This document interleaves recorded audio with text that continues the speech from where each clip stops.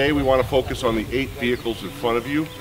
These vehicles, when they're introduced, were not only remarkable in their own time, they're revolutionary, but together, put together, they make up the DNA of the brand.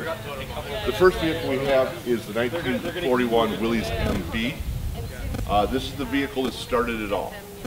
With the war looming, the U.S. Army knew that they needed a vehicle that did not exist at that time. They needed something to replace the Army mule and a motorcycle. Uh, they needed a reconnaissance vehicle, uh, a weapons platform, something that could do it all. So the Army drafted some specifications. Among those, an 80-inch wheelbase. Uh, it had to have a folding windshield and the tires easily removed so it could be crated and shipped around the world. Uh, it had to weigh 1,300 pounds or less. Um, that was never met because the Army weren't engineers, so uh, we told them what they needed in the end. Uh, one of the important specifications was it had to do 50 miles an hour. So they sent these specifications out to 135 different manufacturers. Uh, only three responded.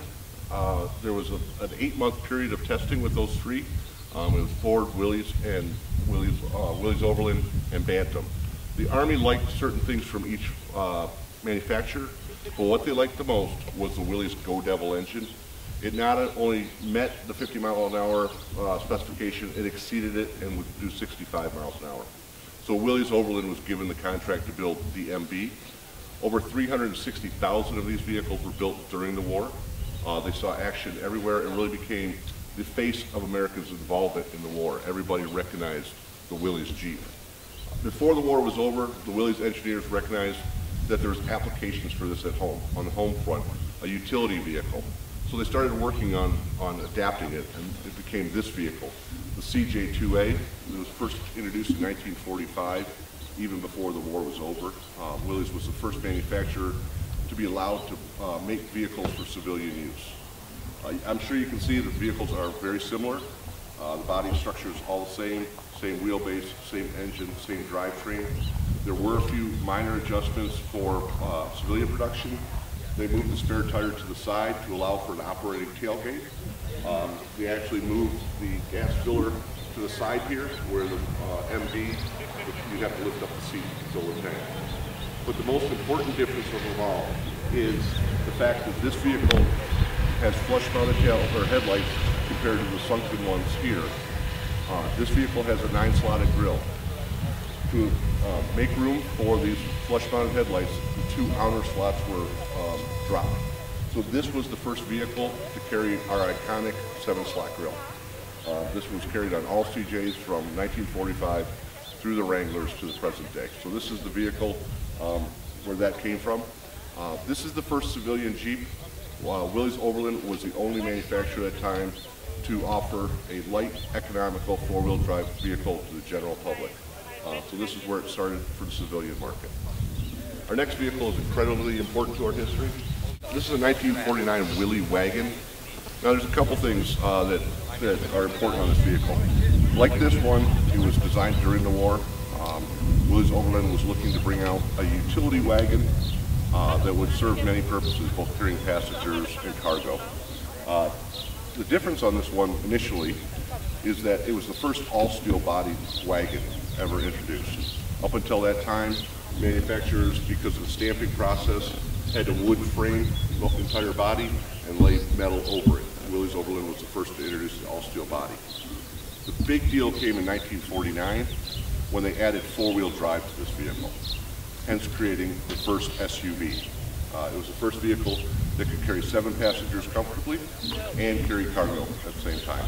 Um, this would be going to be built until 1965 with almost 300,000 samples made. Um, so it's really truly iconic because it is the industry's first SUV. Our next vehicle is 19, this is a 1973 CJ5.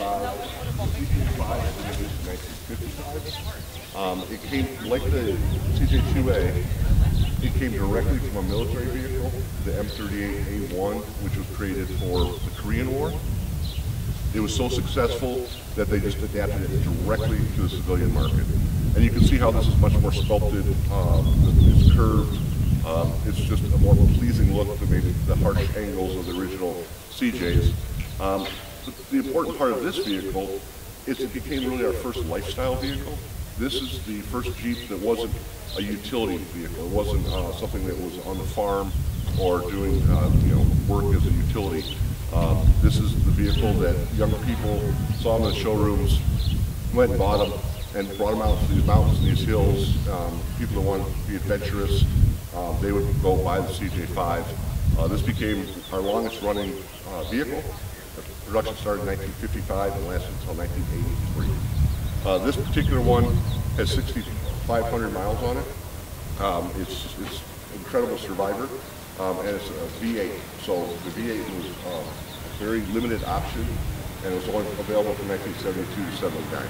So you'll get a chance to drive this one today, and I think it'll probably be your favorite of all. Our next vehicle is a 1983 Cherokee, but the Cherokee was introduced in 1974.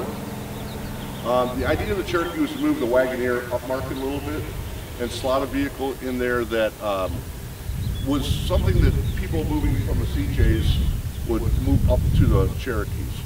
Um, now it's probably somebody that loves the outdoors, uh, loves their camping, uh, but now maybe now they have a family and they have kids they want to take with them.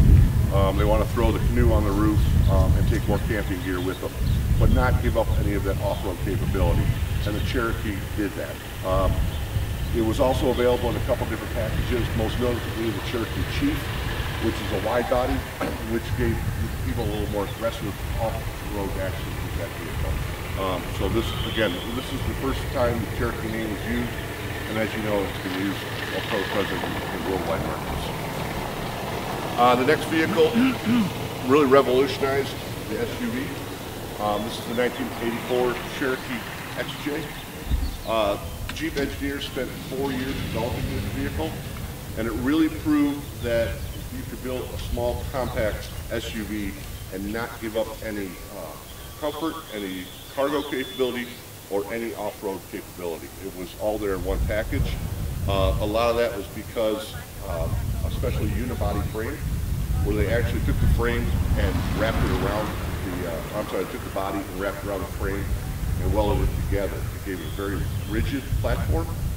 Um, compared to this vehicle, it's 21 inches shorter, six inches narrower, but gave up, or, but retained 90% of the capacity of this vehicle. Uh, this would be go on to be built from 1984 to 2001, and almost uh, 2 million of these vehicles were built. Um, they're still really uh, prized by off-roaders uh, because they can be modified easily. And like I said, it's a rigid platform that works great. Um, it was offered in two different four-wheel drive packages, the Selec-Trac and the world's first uh, shift on the fly system, the Command-Trac, where a driver could still be moving and shift from uh, two-wheel drive to four-wheel drive. So this is the vehicle that introduced that. Uh, our next vehicle is um, the Grand Wagoneer. So I'm taking a step back to 1963 to the introduction of the Wagoneer. Now that was a, one of the first vehicles since World War II that Willys designed from the ground up. Um, and it's significant because it's the first vehicle to combine four-wheel drive and an automatic transmission and also independent front suspension. So it was really uh, raising the bar on the SUV and creating the first modern SUV. So suddenly um, it was more accessible to everybody. You could have an automatic transmission. Uh, you, it's the kind of vehicle you take to the country club or go four-wheeler. It, it, sort of did them all.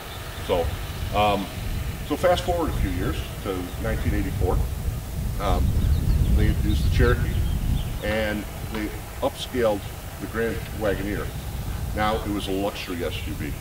It came with extra sound insulation, leather interior, AM, FM. It came with all of the options and all of the uh, luxury items that you would expect, um, especially with the wood grating. Um, it really became a premium SUV at the top of the market. Um, it was the quote-unquote Hollywood vehicle of its day. It's what all the stars and the celebrities wanted to be photographed in, and it really still is. It's uh, very much a collector's item. Um, last vehicle on our Heritage Tour is the 1993 Grand Cherokee. Um, some of you may remember this is the vehicle that broke through the glass at the Detroit Auto Show at Cobo Hall. Um, it really revolutionized the SUV at the time. Um, it created a, a, premium SUV class that didn't exist. and it became something that everybody else emulated. Um, it had, still had the uh, same unibody as the XJ, uh, but they took it a little step further. It was the first SUV to offer three different four-wheel drive systems. Um, all the interior appointments were premium, uh, and you can see that it still has the basic size and shape of the Cherokee, um, but it's, it just went premium. Uh, it's the first Jeep vehicle to have ABS, uh, the first SUV to have uh, airbags. So we, we really raised the bar with this vehicle. Now there's one last vehicle we want to point out to you uh, that is really special when it's here. And uh, it was kind of a surprise to us, uh, but the Jeep Jamboree people were kind enough to bring it out. Now, the gentleman, he's since passed away, his name was Mark Smith. He created the Jeep Jamboree. Uh, Mr. Smith began driving Jeeps while in the Marine Corps during World War II, uh, fell in love with them. He's one of the people that really brought the owners together um, in the 1950s to uh, really, you know, get out there, get together, come to Moab, and enjoy their Jeeps together. This particular vehicle is a bone stock, absolutely stock CJ7 taken from the dealership that Mr. Smith added, obviously, added a few things to. And he drove it from the tip of Argentina to the tip of Alaska. Um, he went through the Darien Gap in 30 days. Um, it's an incredible achievement. Now, he did that not because there's a trophy, not because uh, there's prize money or somebody dared him. He did it because he loves vehicles and he believed in the Jeep. Uh, he had the passion to get out there and do something people hadn't done before. Um, and you know, we have a saying, uh, "We don't build Jeep, you do." This is the vehicle that really represents that. It represents um, people getting out there with passion, with the, you know the drive, and just getting out there to enjoy their vehicle. And I think no other vehicle that we have can uh, is a better example. So that's the tour. I'm going to turn it over.